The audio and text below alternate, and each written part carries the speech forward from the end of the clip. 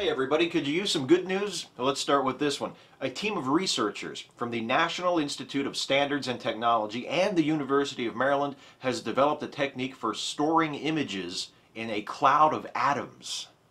The technique involves using lasers to manipulate rubidium atoms. This animation shows the image of the NIST logo, which the team was able to store in the vapor of atoms. This is only a first step, of course. Because the atoms in the rubidium vapor are always in motion, the team was only able to store the image for about 10 milliseconds. It's hoped that studying the behavior of these atoms will yield valuable data necessary for designing and building quantum computers. Next up, researchers at the University of Pennsylvania have engineered T cells that will attack cancer cells while sparing normal healthy cells. The T cells, called CARs after the proteins they express, chimeric antigen receptors, work in pairs, each targeting a separate antigen commonly found in tumor cells. Trials conducted using mice indicate that CARs will only attack cells where both antigens are present, which places cancer, not healthy tissue, in the crosshairs.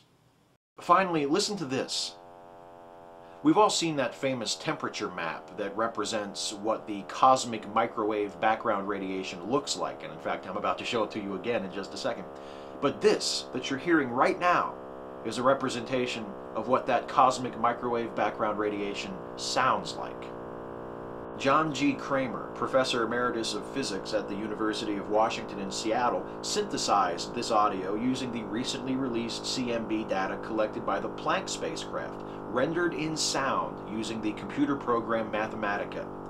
The sound you're now hearing represents 760,000 years of early cosmic expansion, the birth cries of the universe.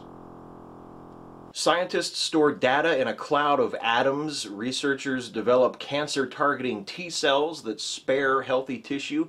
And a physics professor from Seattle synthesizes the sound of the echo of the Big Bang. That's the good news.